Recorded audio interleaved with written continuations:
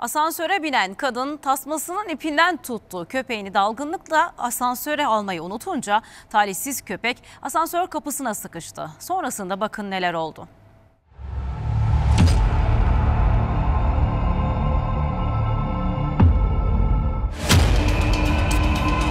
Asansöre bindi, arkasından gelen köpeği unuttu ama tasmasının ipini elinde tutuyordu. Talihsiz köpek kapı kapanınca hareket eden asansöre sıkıştı. Can çekişiyordu. Tam boğulmak üzereyken yardımına apartmana giren bir komşu yetişti. Genç adam köpeği kurtarmak için uzun süre uğraştı. En sonunda tasmayı çıkarmayı başardı. Kucağında tuttuğu köpeği sakinleştirmeye çalıştı. Yaşlı kadın da bir süre sonra asansörle geri geldi. Köpeğinin yaşadığını görünce rahat bir nefes aldı.